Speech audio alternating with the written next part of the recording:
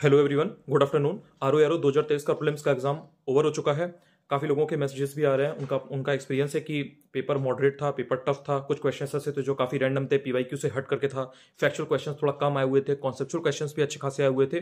और कहीं ना कहीं पेपर थोड़ा सा टफर साइड में देखने को मिल रहा है।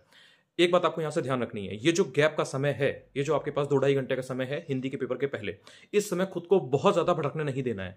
आई एग्री मैं मान सकता हूँ आपकी बात की पेपर बहुत टफ होगा, लेकिन आपको ये बात ध्यान रखनी है कि हिंदी का पेपर यू डोंट नो कि कैसा आएगा। आपके दिमाग में अभी होगा कि हिंदी का पेपर कैसा आ सकता है, हो सकता है कि वो भी जीएस की तरह टफ आए या मॉडरेट आए, लेकिन अगर ईजी आया, लेकिन आप अगर इस माइंड के साथ गए कि पेपर बहुत टफ आएगा और कहीं ना कहीं अगर आपने जल्दबाजी में चार पाँच क्वेश्चन दस क्वेश्चन ईजी को भी गलत कर दिया तो आप रेस में पीछे हो सकते हैं। इसलिए ध्यान रखना है कि ये जो दो ढाई घंटे का समय है, इसमें जीएस के बारे में बहुत ज़्यादा मत सोचिए। पेपर अच्छा हुआ हो, खराब हुआ हो मॉडरेट हुआ हो, कैसा भी हुआ हो पेपर कैसा भी आया हो, आप कुछ नहीं कर सकते। आप, आपका आपकी जो एमआर शीट है वो जमा हो चुकी है। जितने भी कैंडिडेट्स हैं वो भी कुछ नहीं कर सकते जिन्होंने पेपर दिया है।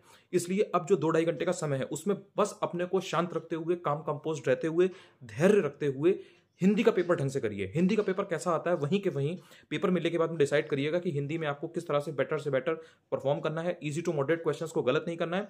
एक चीज़ और ध्यान रखिएगा कि हिंदी का जब आपको पेपर मिलेगा तो उसमें दो तीन तीन मिनट में, चार मिनट में, पाँच मिनट में जो बेसिक फॉर्मेलिटी फॉर्मेलिटीज होती हैं, उनको फुलफिल करने के बाद आपके पास एनफ टाइम होता है हिंदी के पेपर को सॉल्व करने के लिए। क्यों? क्योंकि हिंदी के जो एक घंटे में आपको साठ क्वेश्चन करने होंगे, उसमें तीस से पैंतीस क्वेश्चन जनरली अभी तक का जो इतिहास रहा है यूपीपीएससी का आर ओ को लेकर के, उसमें ऐसा रहा है कि तीस से पैंतीस क्वेश्चन एक्चुअल में में बहुत ईजी होते हैं। तो उसमें आपको टाइम नहीं लगेगा।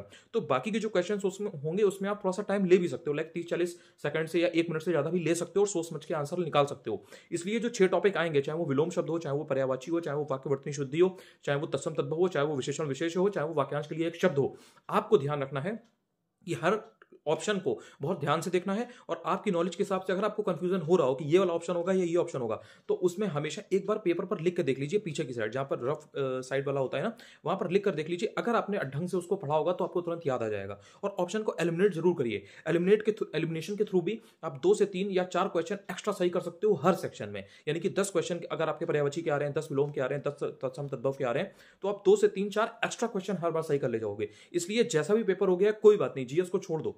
कुछ आपके हाथ में नहीं है अब यहाँ से, लेकिन जीएस में गलती मत करना। जीएस का अगर पेपर ईजी आता है तो उसमें यह टारगेट करके जाओ कि हाँ ठीक है, मैं इसमें अपना बेस्ट देने वाली हूँ, मैं यहाँ से इसमें गलती नहीं करूँगा। All the best for Hindi exam